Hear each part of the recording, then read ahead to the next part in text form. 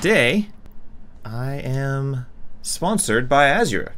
I have never used Azure before. I am making a game that is single player. So what I'm going to work on today is some kind of system to have feedback reporting built directly into the game. So we'll see how that goes. One of the things that I want to explore is the ability to use Godot's scripting language within Visual Studio Code. Show people what this project is overall. So ultimately what I want to be able to do is have it so if people are playtesting the game and then something happens and they're like, oh, I don't know, that that section of the level was really difficult or there was a bug there, I'll have an option in the menu right here to be like report feedback. So that is the end goal of today. There is an add-on for Visual Studio Code, so Godot Tools. Let's go ahead and install that. So I suppose we should start off by creating an account. All right. All right, let's create a MySQL database. I feel like I'm in such a like different world when I look at all this stuff. Create DevOps starter.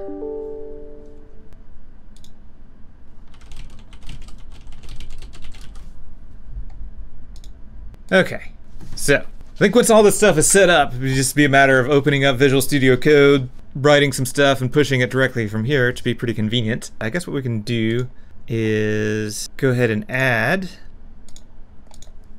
feedback option to the menu. At least get that started.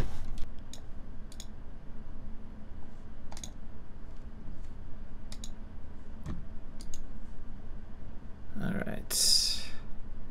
Duplicate that.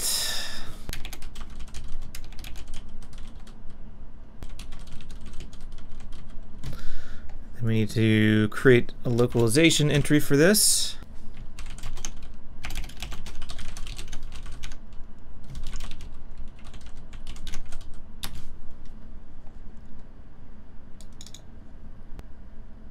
Save a copy as CSV file. Godot to read. When this gets pressed, since I've got this set up to use Visual Studio now, it actually pops up the file in here. Wow. Fancy, yeah. Provide feedback pressed.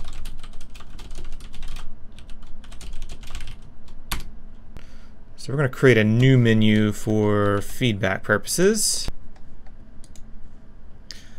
So we'll just duplicate that and call it feedback menu. Go ahead and duplicate that as well. Drag that script on there. I'm guessing this is gonna, yeah, it'll pop it up in Visual Studio. And we need to make make some new stuff here because we need a back button. So we'll go ahead and copy this here because it doesn't automatically enter the code here. So func do a simple print to start with. Connect that. If we did this right, provide feedback option. Ooh, it does. Hey, that's pretty cool. We got submit pressed. All right, insert, entire row, menu, submit. Wait, did we not have a theme for the checkbox? Ah, because we don't have the theme set at the higher level. There we go. Minimum size. All right. We'll do a slightly lighter color when it's selected, when it's in focus, slightly more transparent when it's not. All right, let's see, provide feedback. Hmm, this is a rich text. Oh, it's a rich text label, whoops. That needs to be text edit. Okay. Oh, border width, I'm blind. There we go. So now, I guess what we need to do is post some data to server. We've got this. We got to make the submit do something.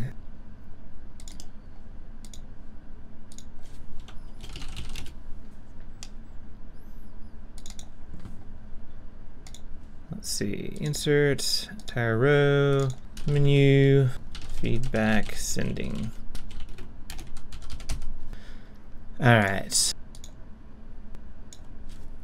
We've got an HTTP request. Okay, so you can request a specific file. It's kind of interesting that you can do this stuff kind of straight from the GUI here. Okay, so what we want to do when we send, we want to push menu, feedback menu, sending. do global send feedback, which text label dot text, and at some point we need to do the screenshot, the global feedback. Whoops. Push that menu.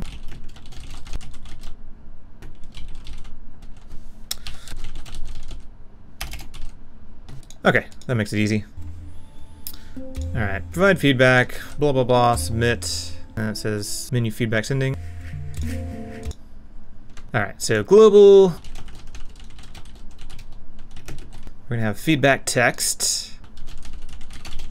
The P underscore is kind of a Godot engine standard for a parameter. We want to save that. Feedback request is to be HTTP request new Request completed is going to be connected to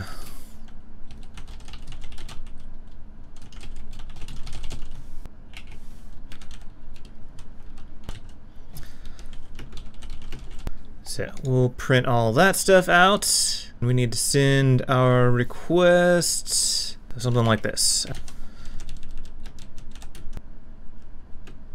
Uh, we need to go to our address which is... Alright. So we'll send our request to that.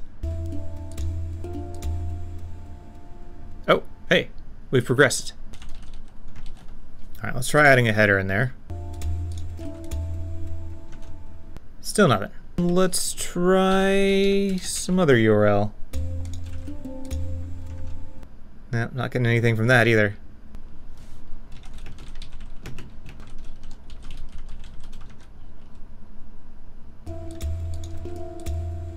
So, why is this not working? So it's like maybe if I set that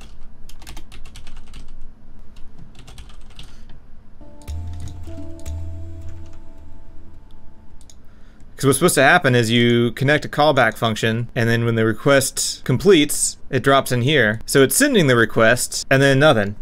Hmm. So is this even actually sending a request at all? So it's entirely possible that I blocked it on the Windows firewall because I was like, ah, it's a single player game, it doesn't need internet. Alright. Ah, but we are getting the request done here. So let's see, why are we not sending the signal out? Seems like it, by everything I can see, it's going into the function, unless it's failing right here at the very end. So the debugging isn't working, and the printing isn't working, I guess possibly because of the threading issue. I got an offer to use to do a sponsored stream for Azure, and I'm like, okay, well, I've never used it before, and I'm making a single player game, but I'll give it a shot. I gave it a shot. It was not the most accurate shot, the shot kind of missed the target a little bit here, but if you imagine we got Godot sending messages to an Azure server, and then Azure collecting that data, and then I can go in and look at that data. That's that's what we'd have. That's the ideal scenario here.